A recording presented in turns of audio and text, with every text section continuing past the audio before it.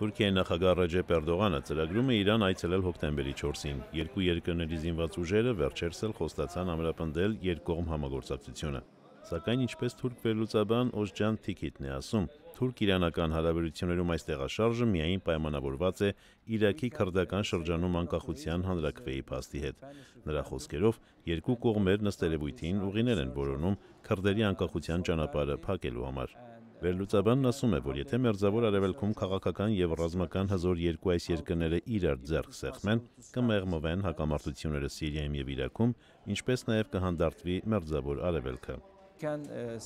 Սիրիայում պատերազմի ծավալները կկրճատվեն։ Իրաքում սունիներն ու շիաները կսկսեն գործել միասնաբար կհաստատվեն ավելի կայուն Իրաք եւ ավելի կայուն Սիրիա։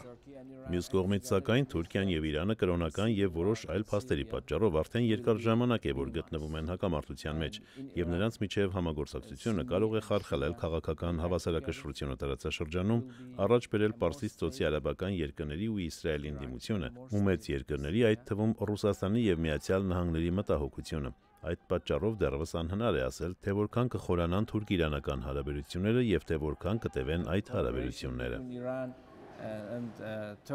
Թուրք-իրանական հարաբերությունները խնդիր են ոչ միայն սունի մահմեդական պետությունների ու Իսրայելի, այլ նաև մեծ խնդիր Ռուսաստանի եւ ԱՄՆ-ի համար։ Եվ ես կարծում եմ, ասում է Թիքիտը, որ թուրք-իրանական համագործակցությունը կկասեցվի նախ եւ առաջ հզոր պետությունների ջանքերով։ Արամ Վանեցյան, Ամերիկայի ձայն, Վաշինգտոն։